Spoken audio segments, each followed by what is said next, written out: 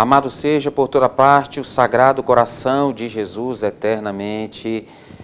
Continuamos a nossa caminhada para aprendermos e nos prepararmos para um novo tempo litúrgico que está por vir, mas ainda estamos nesse período do tempo comum do aprendizado, vigésima nona. Aprendamos com o Senhor Jesus. Evangelho de hoje, São Lucas. E Jesus continua abrindo o coração dos seus discípulos. Pode parecer uma palavra dura, pesada, mas faz parte do ensinamento de Jesus.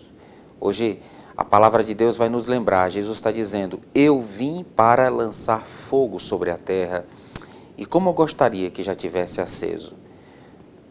As famílias serão divididas: pai, mãe, filhos e filhas.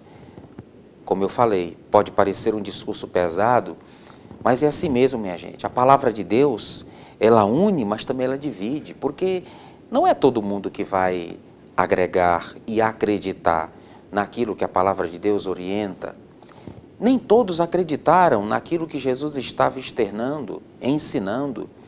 Sumos sacerdotes, doutores da lei e outros do tempo de Jesus não deram a mínima para o seu ensinamento.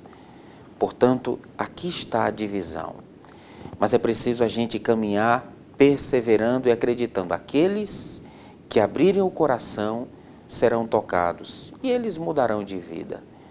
Não é simplesmente por aqueles que não acreditarem que a gente vai desistir, muito pelo contrário. A massa, o número daqueles que acreditam é muito maior. E é aqui que a gente deve entrar.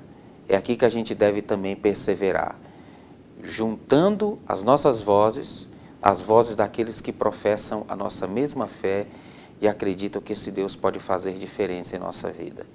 Desça sobre vós a bênção de Deus, que é todo-poderoso, Pai, Filho, Espírito Santo. Amém.